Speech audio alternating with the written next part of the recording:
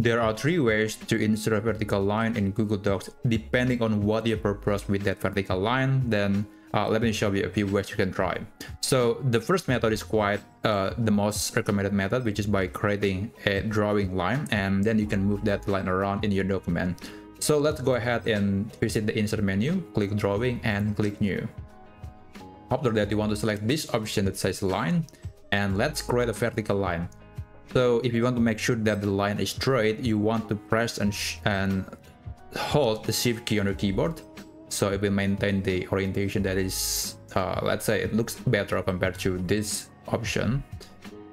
And then you can change the color to, let's say red, and you can change the thickness, you can change uh, the style, the endpoint, and also the start point. And when you're done, click save and close.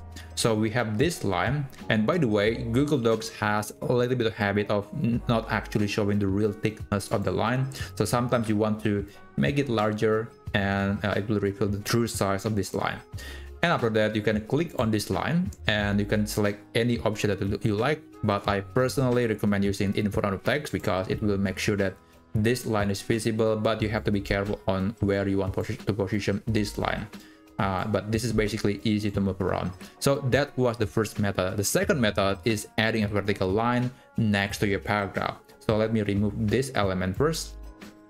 Okay so i want to add a vertical line for this paragraph and i want to put it right here in the left side. What you need to do is to select the paragraph and then go to format go to paragraph and styles, click borders and shading, and select this option that size on the left. And then you can change the width, you can change the thickness, you can change uh, the style, the color, and basically many other options. So after that, let's click apply. Now you see there is a vertical line next to this paragraph. So that was the second method. But there is another use case for a vertical line in, in a document, which is by which is to separate column. So I have this document that has two columns and I want to add a vertical line between the two columns right here.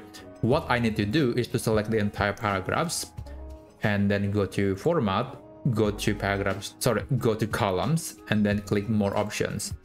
And then here you can ignore everything else and just enable line between columns and there you go now we have this vertical line between our columns so that's basic basically it. That's the three ways you can try to draw a vertical line in google docs. I hope that helps